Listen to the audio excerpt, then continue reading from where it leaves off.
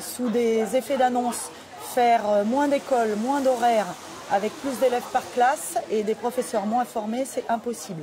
Alors pourquoi je dis moins d'écoles? Bah Parce que déjà en seconde, le tronc commun qui est obligatoire pour les élèves, il y a déjà 26 heures, c'est-à-dire 2 heures de moins qu'avant. Et les élèves ne sont pas obligés de choisir des options facultatives. Donc premier point. Euh, plus d'élèves par classe, c'est bien parce que par le jeu des spécialités euh, dont on vous a peut-être déjà parlé, euh, on sera de toute façon à 35 et probablement plus.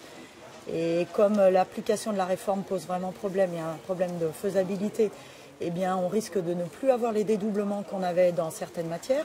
Donc ça va être tout le temps des gros effectifs, donc plus d'élèves pour les enseignants et des enseignants moins formés parce qu'il y a des nouvelles disciplines qui font leur apparition aussi comme euh, NSI, euh, c'est euh, sciences informatiques ou numériques, enfin je ne sais plus très bien comment c'est écrit. Et là, les profs vont être formés sur cinq jours. Voilà, donc par exemple, ensuite, on va aussi nous demander de rentrer les notes sur ce qui s'appelle Parcoursup, donc pour aller dans le supérieur pour nos élèves de terminale, à partir du mois de mars. Donc là encore, je m'interroge. Que font les élèves après le mois de mars? Est-ce qu'on n'est pas en train de les pousser vers l'absentéisme? Euh, Comment les motiver euh, jusqu'à début juillet, puisque l'école va jusqu'à début juillet? Voilà, on nous disait qu'il fallait réinvestir le mois de juin, euh, ce pourquoi le corps enseignant était tout à fait d'accord, mais pour ça, il faudrait qu'on ait des élèves devant nous. C'est ce pourquoi on a été formés. Voilà. Vous disiez tout à l'heure aussi qu'on s'acheminait petit à petit vers une disparition du, bac tel qu'on le connaît aujourd'hui. Est-ce que vous pouvez développer ce point-là? Alors, le bac va euh, dorénavant être euh, pour 60% euh, en épreuve finale en fin de terminale et pour 40% en contrôle continu. Mais en fait, ce contrôle continu va être aussi développé dès la première. Donc, si on compte un peu toutes les épreuves que les élèves vont avoir, entre la première et la terminale sur leur scolarité, ils vont avoir 21 épreuves. Alors, on peut dire, oui, bah, ils seront peut-être moins stressés pour les épreuves finales, ça peut être une position, mais ils vont être aussi sur le grill non-stop pendant deux ans pour des épreuves qui vont compter sur leur bac.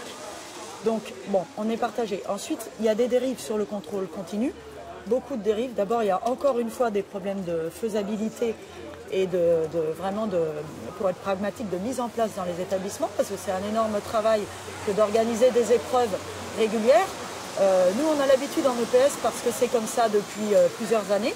Mais euh, quand un élève n'est pas là, il faut organiser des rattrapages. parfois, ça ne peut pas se faire sur les horaires de cours parce que le prof a qu'une heure et l'épreuve dure plus. Enfin, c'est vraiment beaucoup, beaucoup d'organisation.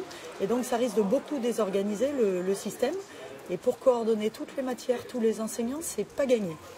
Ensuite, il y a d'autres dérives possibles. Euh, nous, en EPS, on a une coévaluation obligatoire, c'est-à-dire qu'on est obligé d'être deux enseignants pour ne pas euh, avoir l'affectif qui puisse prendre le dessus, bah, cet élève il a bien travaillé, j'augmente un peu sa note, euh, ou cet élève il a au contraire il m'a cassé les pieds, je baisse un peu sa note, c'est pas comme ça que ça marche. Le bac c'est une épreuve à un instant T, donc il faut que ça soit une note totalement objective. Donc ce système-là, euh, si les profs sont seuls à, noter leurs élèves ou à corriger leurs copies, si ce n'est pas anonymé, je ne sais pas encore comment ça va se passer, il peut y avoir des dérives. Il y en a eu au Canada, par exemple. Il y a eu euh, beaucoup de dérives où, évidemment, bah, les profs ont commencé à lever les notes petit à petit de leurs élèves. Euh, poussés ou non par l'administration, on n'en sait rien, parce qu'après, eh on a les, écarts qui se creusent entre les établissements. Celui-là est mieux coté que celui-là.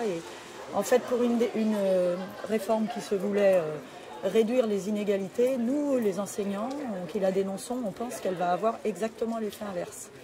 Et puis, bon, bah, la valeur du baccalauréat, très probablement, va, va diminuer de plus en plus, jusqu'à peut-être le faire disparaître, ça on ne sait pas.